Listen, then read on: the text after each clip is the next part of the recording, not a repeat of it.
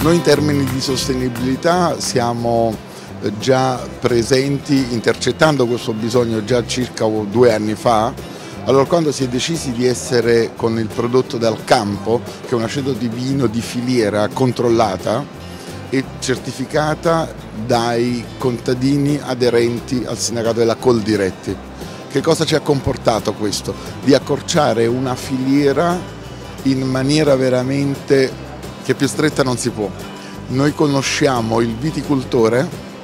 conosciamo che le nostre uve prodotte attraverso un contratto quinquennale arrivano alla cantina di pigiatura, dalla cantina di pigiatura viene fatto il vino che arriva nella nostra azienda.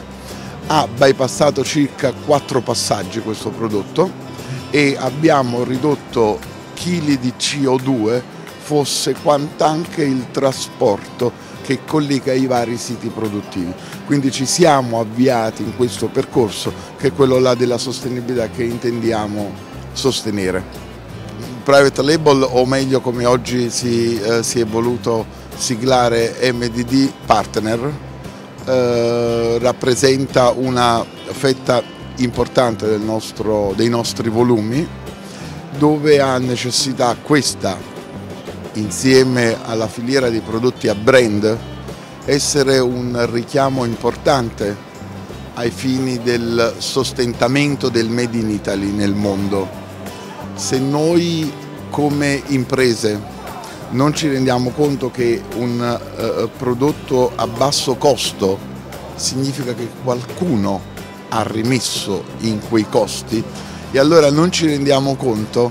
che questi costi vengono recuperati altrove e vengono recuperati nella sostenibilità, nella qualità, nel benessere aziendale, perché poi i conflitti aziendali emergono tutti quanti, nei licenziamenti. E come ha detto il ministro Bellanova ci stiamo affacciando alla nuova era del caporalato, un caporalato in giacca e cravatta che riesce con il sottocosto, con i prodotti competitivi che non lo sono perché andranno ad essere competitivi per l'azienda finale, ma un costo nei più deboli della filiera, che sono i consumatori e la salute dei consumatori e dei lavoratori che saranno costretti a nuove regole, talvolta ahimè anche, anche antisindacali. Quindi la parola d'ordine è fare impresa, farla con una certa maturità, cercare di dimenticare il cannibalismo imprenditoriale che poteva guidare le imprese pionieristiche, siamo maturati. Appuntamenti a breve sono quelli negli Stati Uniti che ci vedono presenti ormai da 30 anni su quei mercati